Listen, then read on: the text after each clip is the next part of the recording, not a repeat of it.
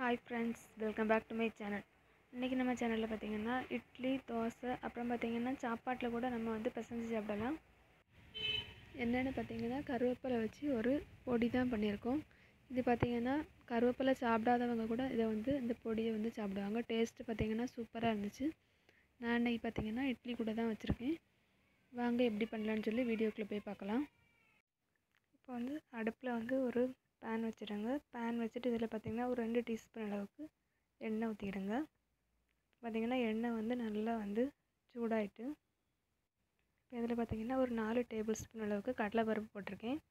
கடலைப்பருப்பு போட்டுட்டு வந்து லோ ஃப்ளேம்லேயே வச்சு வந்து நல்லா வந்து ரோஸ்ட் பண்ணி எடுத்துடுங்க. அப்போ தான் நம்மளுக்கு வந்து நல்லா இருக்கும்.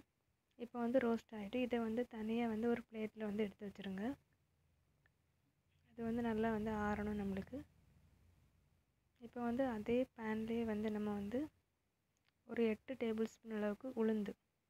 நான் வந்து பார்த்திங்கன்னா வெள்ளை உளுந்து தான் போட்டிருக்கேன். நீங்கள் வந்து தோலோடு இருக்கக்கூடிய உளுந்து கூட வந்து நம்ம வந்து போட்டுக்கிடலாம் இதையும் வந்து லோ ஃப்ளேம்லேயே நல்லா வந்து ரோஸ்ட் பண்ணிவிடுங்க அப்போ தான் அந்த பொடி வந்து நம்மளுக்கு வந்து டேஸ்ட் நல்லாயிருக்கும். அதே மாதிரி பார்த்திங்கன்னா இப்போ கருவேப்பிலை வந்து ஒரு கைப்பிடி அளவுக்கு நல்லா வந்து இந்த மாதிரி அமுக்கி பிடிச்சா நமக்கு நிறைய வர அளவுக்கு வரணும்.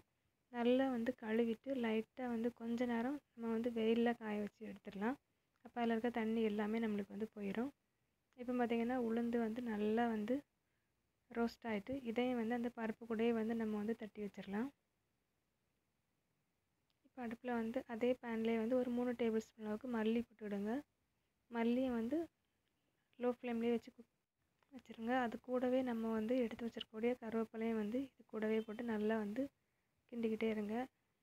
நான் பார்த்திங்கன்னா அந்த பாத்திரம் வந்து சின்னதாக இருந்ததுனால இந்த பெருசில் போட்டிருக்கேன். இப்போ பார்த்திங்கன்னா இந்த மாதிரி லைட்டாக நல்லா பொடிகிற மாதிரி நம்மளுக்கு வரணும். அந்த அளவுக்கு நம்ம வந்து கருவேப்பிலையை வந்து வறுத்து எடுத்துக்கணும். வறுத்து எடுத்ததையும் அது கூடவே நம்ம வந்து போட்டுடலாம். இப்போ வந்து அதே பேன்லேயே வந்து ஒரு டீஸ்பூன் அளவுக்கு நம்ம வந்து மிளகு போட்டுக்கலாம். மிளகும் வந்து நல்லா வந்து பொரிய ஆரம்பிச்சிட்டு இதே வந்து அது கூடவே நம்ம வந்து எடுத்து வச்சிடலாம். இப்போ அதே பேன்லேயே வந்து பார்த்திங்கன்னா ஒரு ரெண்டு டீஸ்பூன் அளவுக்கு எள் கருப்பு எள் நான் எடுத்திருக்கேன். நீங்கள் வெள்ளை எள் இருந்தால் வெள்ளை எள் கூட எடுத்துக்கலாம்.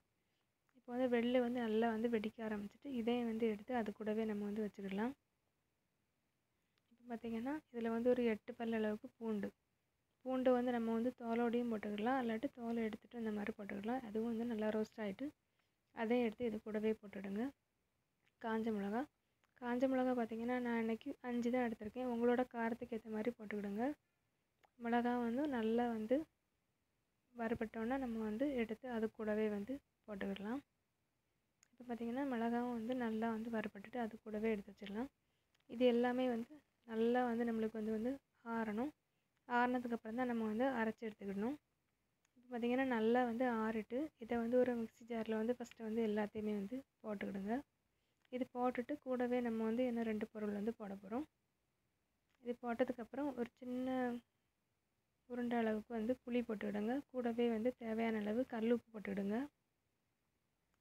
அப்புறம் பார்த்திங்கன்னா கால் டீஸ்பூன் அளவுக்கு காயப்பொடி.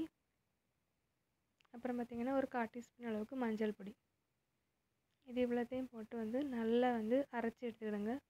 உங்களுக்கு வந்து ரொம்ப பவுடர் மாதிரி வேணும்னா அந்த மாதிரி அரைச்சிக்கிடுங்க இல்லாட்டி இந்த மாதிரி கொஞ்சம் திரு திருன்னு வேணுன்னா இந்த மாதிரி அரைச்சி எடுத்துடுங்க இப்போ வந்து எல்லாமே வந்து அரைச்சி எடுத்தாச்சு.